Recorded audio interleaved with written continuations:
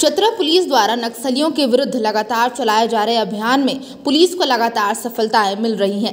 ज़िले के अति नक्सल प्रभावित प्रतापपुर थाना क्षेत्र के प्रतापपुर कुंदा पद पर स्थित भंगिया गाँव से आज पुलिस ने प्रतिबंधित नक्सली संगठन टीएसपीसी के एक दुर्दांत उग्रवादी तथा झारखंड सरकार द्वारा घोषित पाँच लाख रुपए का इनामी नक्सली सब जोनल कमांडर कृष्णा गंजू को हथियार समेत गिरफ़्तार कर लिया।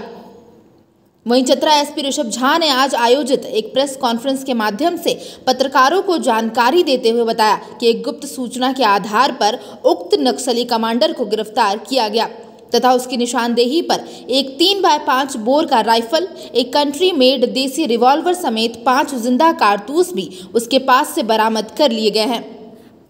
एसपी ने आगे बताया कि चतरा के अलावा पलामू तथा लातेहार समेत अन्य जिलों के थानों में भी इस पर कई दूरदात मामले दर्ज हैं। वहीं पुलिस इस उग्रवादी की गिरफ्तारी को एक बड़ी कामयाबी मान रही है।